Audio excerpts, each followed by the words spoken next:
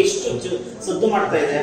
ಇದರ ಬಗ್ಗೆ ನೀವು ಈ ನಿರ್ದೇಶಕರಾಗಿ ನೀವು ಕಟ್ಟ ಚಿತ್ರರಂಗ ಇದೆ ನಟರು ನಿರ್ದೇಶಕರ ಬಗ್ಗೆ ಒಂದು ವ್ಯಂಗ್ಯವಾಗಿ ಮಾತಾಡುವಂತ ವಿಚಾರಗಳು. ವಿಚಾರಗಳು. ನಾನು ಮಾತಾಡುವುದಿಲ್ಲ. ಮಾಧ್ಯಮಗಳ ಬಗ್ಗೆ ಒಂದು ಆಕ್ರೋಶದ ಮಾತುಗಳು. ನಾನು ಮಾತಾಡುವುದಿಲ್ಲ. ನನ್ನ. ಕೆಳಕ್ ಬಿಡಿ ನಾನು ಬಾಯ್ ಬಿಡಲ್ಲ ನಾನು ಬೆಳಗ್ಗೆ ಸರ್.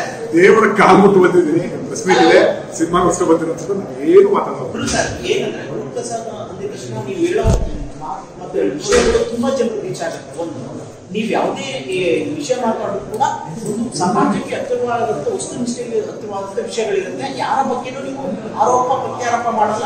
ಏನ್ ಸತ್ಯ ಸತ್ಯಾಂಶ ಇರುತ್ತೆ, ಅದ್ರ ಬಗ್ಗೆ ಎತ್ತಿ ಹಿಡಿತೀರಾ, ಅದ್ರ ಬಗ್ಗೆ ಧ್ವನಿ ಎತ್ತೀರಾ? ಆ ಕಾರಣಕ್ಕೋಸ್ಕರ ನಿಮ್ಮನ್ನ ನಾವು ಕೇಳಿದ್ದು.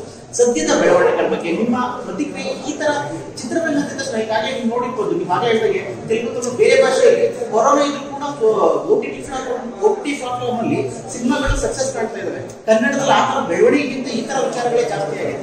ಒಬ್ರು ಹಿರಿಯ ನಿರ್ದೇಶಕರಾಗಿ ನಿಮ್ಮ ನಿಲುವೇನು ನೋ ಕಮೆಂಟ್ಸ್ ಖಂಡಿತ ಉತ್ತರ ಕೊಡಲ್ಲ. ನನಗೀಗ ಮುಂದೆ ಬರಬೇಕಾಗಿರುವಂತಹ ಒಂದು ಚಿತ್ರ ಕಂಪ್ಲೀಟ್ ಮಾಡಿದ್ದೀನಿ. ಎಲ್ಲರೂ ನಾಲ್ಕು ವರ್ಷ ತಗೋತಾರೆ, ಮೂರು ವರ್ಷ ತಗೋತಾರೆ ಅಂತ ಮಾತಾಡ್ತಿದ್ರು. ಈ ಕರೋನಾ ಕಲಾಟಗಳಲ್ಲಿ ನಾನು ನನ್ನ ಸ್ನೇಹಿತ ರವಿ ದೀಕ್ಷಿತ್ ಇದ್ದಾರೆ. ಅವರು ನಮ್ಮ ಸ್ನೇಹಿತರುಗಳು ನಾವೆಲ್ಲ ಸೇರಿ ಒಂದು ಸಿನಿಮಾನ ಕಟ್ಟಿದ್ದೀವಿ. ಅದರದ್ದು ನಾಳೆ ಶೂಟಿಂಗ್ ಮೂವತ್ತೊಂದು ತಾರೀಕು ಪ್ರೆಸ್ ಮೀಟ್ ಇದೆ. ನಾನು ಅದರ ಕಡೆ ಗಮನ ಕೊಡ್ತಾ ಇದ್ದೀನಿ. ಅದಾದ್ಮೇಲೆ ರಂಗನಾಯಕ ಶುರುವಾಗ್ತಾ ಇದೆ ಹತ್ತು ತಾರೀಕು ಅದ್ರ ಕಡೆ ಗಮನ ಕೊಡ್ತಾ ಇದ್ದೀನಿ. ನಾನು ನನ್ನ ನನ್ನ ಸಿನಿಮಾ ನಾನೊಬ್ಬ ಹತಾಶ ಪ್ರೇಕ್ಷಕನಲ್ಲಿ ಅದಕ್ಕೆ ಆ ಪಾತ್ರಕ್ಕೆ ನ್ಯಾಯ ಒದಗಿಸ್ಕೊಂಡು ಹೋಗ್ತಾ ಇರೋಣ ಅಂತ. ಪ್ರಪಂಚದ ಉತ್ಸವರಿ ಬಗ್ಗೆ ನನಗೆ ನನಗೆ ಅನ್ನಿಸ್ದಾಗ ನಾನು ಈ ಈಗ ಈಗ ಚೆನ್ನಾಗಿದೆ ಅಂತ ಬೇಡ ಅಂತ ನಮಗೆ ನಿಮ್ಮ ರಂಗನಾಯಕ ಸಿನಿಮಾದಲ್ಲಿ ನಿಮ್ಮ ಪ್ರೊಡ್ಯೂಸರ್ ಸಿನಿಮಾ ಸ್ಟಾರ್ಟ್ ಆಗುತ್ತಾ ಸ್ಟಾರ್ಟ್ ಆಗುತ್ತೆ? ಯಾಕಂದ್ರೆ ಕೆಲವೊಂದು ಬೆಳವಣಿಗೆ ಆಗಿತ್ತು ನಿಮಗೂ ಕೂಡ ಗೊತ್ತಿರುತ್ತೆ ಅನ್ಕೋತೀನಿ ಜಗ್ಗೇಶ್ ದರ್ಶನ್ ಅವರು ಮತ್ತೆ ಜಗ್ಗೇಶ್ ವಿಖ್ಯಾತ, ವಿಖ್ಯಾತ. ವಿಖ್ಯಾತ. ಎಲ್ಲ ಸಾಲ್ವ್. ಆಯ್ತು. ಸೆಟ್ ವರ್ಕ್ ಮುಗಿದಿದೆ. ಸೆಟ್ ವರ್ಕ್ ಎಪ್ಪತ್ತು ಎಂಬತ್ತು ಪರ್ಸೆಂಟ್ ಮುಗಿದಿದೆ.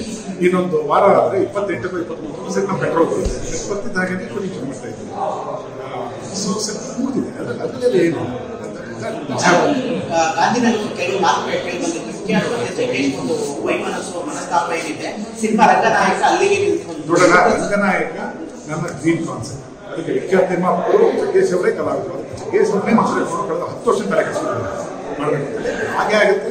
ಬರ್ತಾ ಇದೆ. ಆದಷ್ಟು ಬೇಗ ತರಬೇಕು ಅನ್ನೋದು ನನ್ನ ಉತ್ಸಾಹ. ಕೆಲಸ ಥ್ಯಾಂಕ್ ಯು